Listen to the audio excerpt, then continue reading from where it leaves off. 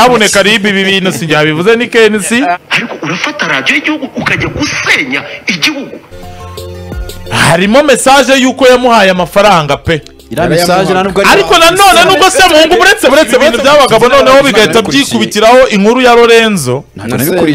Ahubwo ibyo ngibyo bikiba ewa uyu lorenzo akaba nawe ari umunyamakuru w'iyo radiyo bikiba ni bwo semuhungu yahise avuga ati rurenze utangiye kunyibasira hasi. ati nashyire Nanshyire hasi. hasi. Ati, cyangwa nanjye "Bisha- lorenzo arongera aramubwira ati uzi ko yakumvisha agaseka akajwi kawe karandyohera. Ati wavamo umushyushyarugamba mwiza. Ati va kuri ba filipita batagira ijwi. Ahangaha lorenzo yinjiriye filipita. Perezida wa gasogi united yitwa kakoza nkuru nziza charles. Mu mpine ni byo bivamo kensi. Yanenze abanyamakuru ba radiyo rwanda. Baherutse kugaragaza ko umukino wa gasogi united na Rayon siporo udafite icyo uvuze imbere y'uwa caf champions league. Aba banyamakuru bagaragaje ko kensi yabujije abantu kureba umukino wa caf champions league wari guhuza apr fc ndetse na pyramide fc yo mu misiri kuko yanze guhindura amasaha nk'uko byashimangiwe na kwizigira jean claude ati none se abantu bazaguma muri stade bakora iki? Arashaka abafana ba Rayon siporo n'aba apr kuko nibo dufite nk'abakunzi b'umupira w'amaguru mu rwanda. Niba kenisi abashaka nabashyirira umukino saa kumi n'ebyiri. Saa mbiri babe bagiye. Njye kuri ra radiyo wani radiyo rwanda radiyo rwanda. Ajye kuri radiyo eh, abantu bakurikira umukino. Mugenzi we musengamvura christian yongeye ati nuko nyine ubundi ari amakuru ari uko ubundi nanjye ntabwo uriya mukino. Amakuru. Nuko ari amakuru nyine naho ubundi nanjye uriya mukino ntabwo najya kuwureba.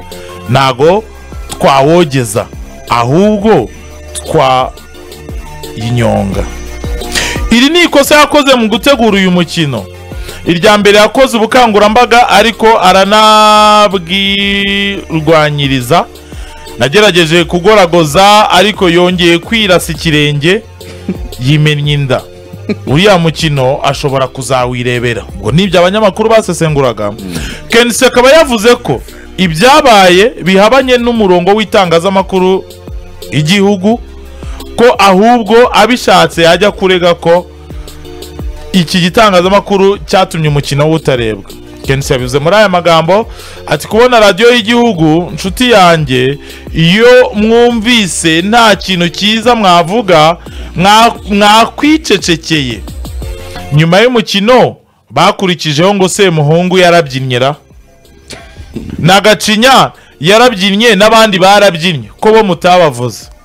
Hari ibintu abantu bakina na byo ntabwo ushobora kubona igitangazamakuru cya leta gikora icengezamatwara risenya umupira. Ifite imirongo irenga icumi n'ingahe. Nshatse uyu munsi najya kurega ibyangijwe. Nkavuga ni njye nifuzaga abantu ibihumbi mirongo itatu none haje abantu ibihumbi cumi na bitanu kandi abanyamakuru banyu nibo babigizemo uruhare atabishatse icyo kirego rwose yagishyira ku mugaragaro. Yashingira kuri iyo mibare n'ibimenyetso aba banyamakuru basesenguraga Ese bavuga ko ni ukuvuga ngo umupira ubundi wa, wa piramide na aperi wari saa mbiri wa gasogi united uri saa moya ariko uwa aperi wari uri mu misiri. Ntabwo ari kuri stade ntabwo wari kuri stade imwe ikindi kintu kandi kenisi yitwaza ni uko avuga ko mu, kwamamaza bari bashyizemo package ivuga ngo n'abantu bazaza kureba a Rayon Sport na gasogi. Kuri screen Flat tuzabashyiriramo iyo ma- iyo match. Tuzabashyiramo match ya APR na piramide ikindi akavuga ati nanone we ntabwo wabwira abantu ngo ntibazaze kureba gasogi ngo APR izakina kubera ko imwe iri mu misiri abandi bari i kigali. Turabizi ko i nyamirambo hashobora kubera umupira ku mahoro hari umupira i rubavu hari umupira i huye hari umupira i musanze hari umupira nyagatare hari umupira i ngoma hari umupira. We none kandi ku masaha amwe we rero None kuba se abantu bavuga ngo kubera ko hari umupira runaka wanjye ngo Iki ngo duhindure imikino ngo Ah. ngo- yawe ngo ntabwo tuzayogeza. Ibyo bintu byamukorompye cyane mu mutwe we ntabwo ari kubyumva eh, ziba Sinjya barazogeza. Kuri stade mukajya mu mutwe we ntabwo ari kubyumva haba harimo abanyamakuru batabikora. ibi bintu rero by'aba bagabo barayogagije ibi bintu by'abagabo noneho bigahita byikubitiraho inkuru ya lorenzo. Semuhungu- ahubwo ibyo ngibyo bikiba uyu lorenzo akaba nawe ari umunyamakuru w'iyo radiyo bikiba ni bwo yahise avuga ati rurenze utangiye kunyibasira. ati nashyire hasi. mu gihe kenisi we noneho ariko ari kwataka aba bose bakorana icyo kiganiro cy'urubuga rw'imikino kuri radiyo rwanda. Uwitwa semuhungu noneho. We yatatsemo umuntu umwe. Ntabwo yatatse radiyo yose cyangwa se abanyamakuru bose. Semuhungu yagiye kuri x yahoze yitwa twitter arandika ngo umunyamakuru wo kuri rba witwa lorenzo. Uri kunsebya muri publike kubera namwimye urukundo. Eh, wari waranzengereje unsaba amafaranga. Mbabarira urekeraho kunsebya Cai. kuko nukomeza ndagushyira hanze. Ibyo uri kwigira ngo bagushime ni uko batakuzi. Uri injiji gusa. Murakoze. Arangije eric s cyangwa se eric semuhungu. Ubwo ni semuhungu sinyatire se afite ibimenyetso byerekana ko yabirekuye yarekuye cati yahereye t- kuri cati zo mu mwaka novambure bibiri na cumi n'icyenda. Hariho urumva? Ubwo lorenzo yari ari kumubwira ati wawe ufite akajwi keza uzaze tumenyane urumva? Lorenzo arongera aramubwira ati uzi ko yakumvisha agaseka akajwi kawe karandyohera ati wavamo umushyushyarugamba mwiza. Ati va kuri ba filipita batagira ijwi. Ahangaha lorenzo yinjiriye filipita. Izi ngizi ni shati zigiye hanze. Bya bindi twaze tuvuga.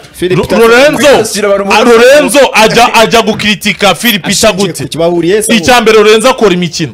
Philip lorenzo nta bumenyi na buke afite kuri iyi kujya akora nta bumenyi na buke bivuze ko afite ku muziki. ahubwo byinshi byaba umuhuru sinzi hanyuma mu- nyine mu- kugenda noneho hari ingingo bashyizemo Eric Semurekera aho ngaho kuri ayo mafaranga Eric Semungu yamwoherereje.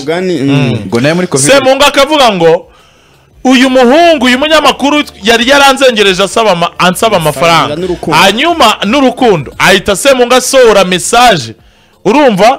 Ni mesaje you have received yamuhaye tariki eshatu z'ukwezi kwa cumi na kumwe. ni cumi n'imwe Eh, ni cumi n'imwe z'ukwa gatatu bibiri na makumyabiri na rimwe. Amaze guha lorenzo amafaranga ibihumbi mirongo itanu. Momo hanyuma nanone aya mafaranga lorenzo akimara kumubona hashize iminsi mike arongera aramwandikira. Lorenzo yandikira eric semungu aramubwira ngo ese boss redi njye wangurira agacupa ko imana izaguha umugisha. Njye singoye ni ka mitsingi undi nawe ahita amuseka cyane. Hanyuma munsi hari yivuga gute? Urumva? Ha- njye ndashaka gusobanura indi ya mbere. ugiye kubireba neza uraza gusanga. Urumva? Amafaranga yaramusabye munsi kubikora y'amafaranga amanuka turebe. Manura manura ibimenyetso hariya manura ibimenyetso turebe. Zose n'ishati bagiranye. Reka tubanze shyiraho ya indi ya mbere aho ariko se mu avuga ngo umunyamakuru wa RBA witwa Lorenzo ari ari kunsebya muri publike kubera namwimye urukundo kubera ko buretse wumve bino bintu birahita bihura na Kensi Kensi aravuga ngo nyuma y'u- bano bantu ntabwo bansebeje mbere y'umupira babuza abantu kuza kureba match yanjye. Ahubwo bongeyeho na nyuma y'umupira bavuga ko nta cyabaye ngo umupira waranzwe no kubyina ibintu bidafututse bya Semuhungu. Semuhungu. Ngo yateye umwaka stade Semuhungu ngo yiyandagaje ngo ntabwo byari bikwiye mu mupira w'amaguru. Ese ijambo mwako barikoresheje? Semungu nawe biramubabaza cyane ari nawe yahise atwitinga akavuga ngo umunyamakuru wo kuri RBA witwa Lorenzo. Mm. Urumva? Ari kunsebya muri publike kubera namwimye urukundo. Wumva ako kantu bro? N'amafaranga. Ngewe ndashaka gusobanura akantu ku. Namuhaye- Ya- Eveline namuhaye- mbanze muhe. reka njye banze Nategeka gusa Eveline chat banze urebe iyi ngiyi nguhaye niyo nshaka kwitsaho. Sibyo icya mbere Semuhungu yaduhishuriye ko yimye urukundo nde. Ese n'urukundo rumeze gute? Wibuke ko Semuhungu aherutse gutangaza ko akeneye umuhungu bakundana. Kandi abantu batazi Semuhungu Semuhungu nawe ni umuhungu. Ariko wakubwira ko ari ko umukobwa yarashatswe Ari- ya favorite girl. Ubu ni umupfakazi. Hanyuma munsi y'ibyo ngibyo yongeye yandika ngo wari waranzengereje. Unsaba amafaranga. Mbabarira urekeraho kunsebya kuko nukomeza ndagushyira hanze. Ibyo uri kwigira ngo bagushime nuko batakuzi injiji gusa. Uretse wumva akantu ugiye gukotinga ngewe wari waranzengereje unsaba amafaranga. Babyita guhoza ku nkeke amafaranga twayabonye.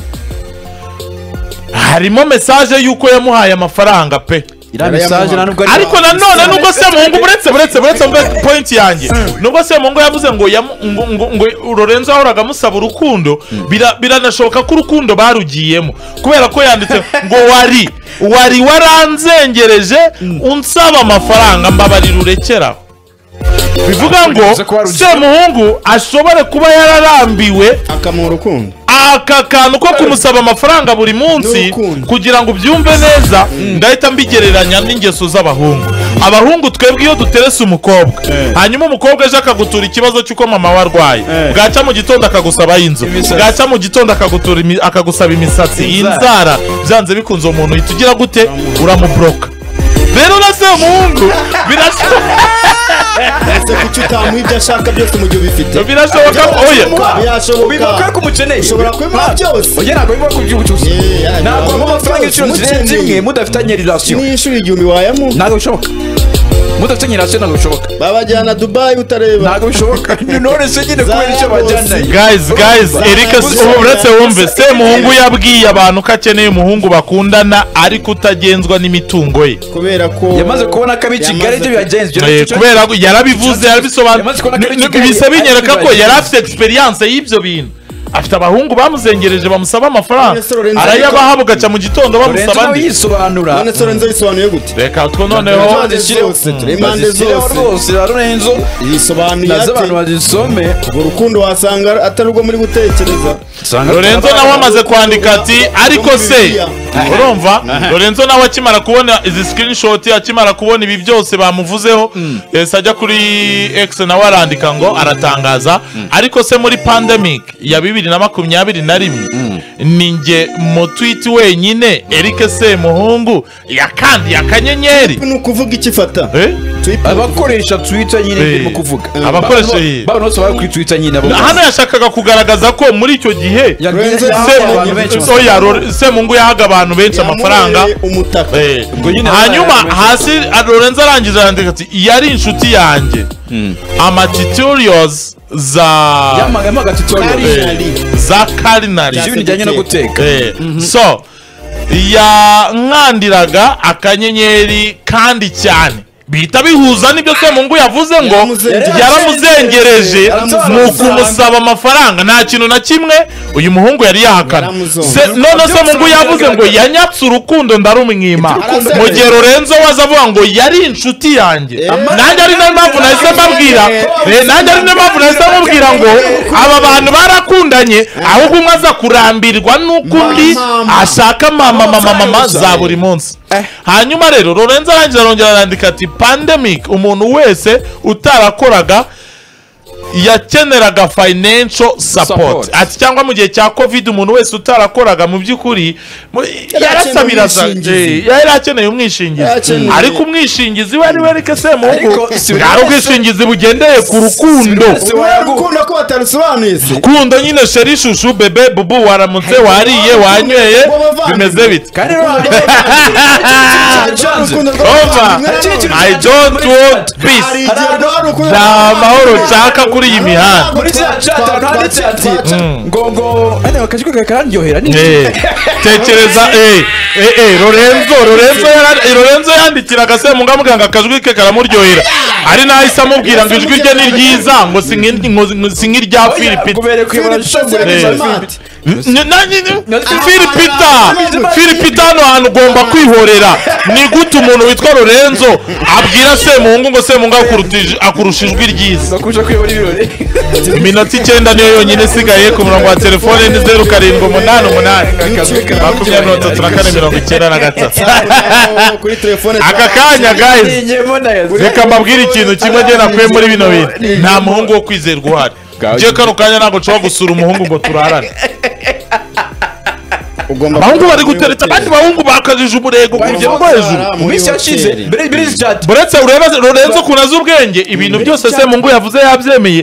Kubera ko semungu yavuze ngo ndaza kugutamo ibimenyetso. Nuza n'ibintu byo kuhakana n'ibiki n'ibiki. semungu po musemungu ashobora kugutamo akavido ari kumwe na Lorenzo tujye cya kenisi n'abanyamakuru ba rba so mbere na mbere twubahe kenisi ni umwe mu bagabo barimo gutanga ikigwa muri football nyarwanda mu buryo bwo gushoramo byimbitse no kubihuza na showbiz. It's perfect. Ariko uko byagenda kose nta itangazamakuru n'abanyamakuru buri gihe ibyo bazatangaza kuri event runaka bizanyura buri umwe ati urugero niba mwibuka neza mu gihe cye cya skendo ya The Ben na Emeline ifata ku mavuta yasohoraga ama operasiyo y'ubusesenguzi bw'ibihari abafana ba Ben ntago babyakiriye neza babifataga nko kwanga Ben so ubwo rero niba hari aho bari bari abanyamakuru barengereye ba- begereye Kenisa bamusaba imbabazi Cyane. yewe ndabemera. Mama hari ahantu mbonye ibyo kenisi yavuze reka tubiyumvishe umva, mm. uretse gato. Ntazo gazaze uyu munsi arongera aradutse ugasubiza. radiyo rwanda uyu ni we muntu wanditse abwira minisitiri ngo nta- ntazo gazaze uyu munsi arongera aradutse atangira ibintu nk'ibi. Radiyo rwanda igomba kongera gusubirana saniti ntabwo ari ukuzana yutube akaterizi iriya radiyo tuyifiteho siteke ni iyacu ni iy'igihugu turayisorera. Nta n'ubu nkweretse fagitire z'umuntu ibyo atanga kugira ngo iriya radiyo ifonkisiyone ariko urafata radiyo y'igihugu ukajya gusenya igihugu ugasenya umupira. Bwana rudo this is too much.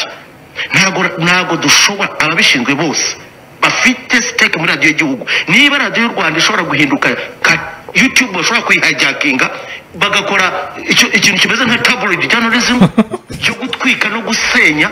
Ubu nk'umuntu wumva hano seriously kuko urumva ko kenisi yarakaye cyane avuga ati yabaye. "Aba- bwana ardo ardo ni umuyobozi muri rba ubwo ngubwo wowe iki kibazo akaba yanahise agishyira mu bayobozi ba radiyo rwanda cyangwa se rba muri rusange. Ubwo harimo bwana kirofasi barori Barore, Deje. uwitwa abayobozi sheja aramwungirije. Urumva sandrine sheja atangiriye mu miriro ya danje. Eh. mutabakaza bamubwira ngo ni mushya ahubwo ya- ya- a- agafa- ba lorenzo urumva lorenzo afite youtube channel ye. Rigani nawe afite youtube channel uwitwa bara bose bafite ama youtube channel. Kwizigira Mm, na axel nibo bazifite. Eh, axel arayifite ariko n'ubundi urebye neza ntabwo ikora. Urumva ariko koporo we arayifite so rero akaba ati biratangaje cyane kubona nyine aba youtubers barafashe radiyo rwanda bakayizana agatwiko ko kuri youtube. Ngo ni katera. Ati uriya munyamakuru wamvuze biriya ni nawe muntu wavuze ko minisitiri ngo nta cupa ryaze amaye reka twitahe. twitahire byararangiye. nyabuneka nitwa fata ku mavuta nitwe ingagi nkuru mu murwa nyaboneka ribi ibi bintu sinjya bivuze ni kenisi ntago mbirimo icyo nakoraga ni ukubibagezaho.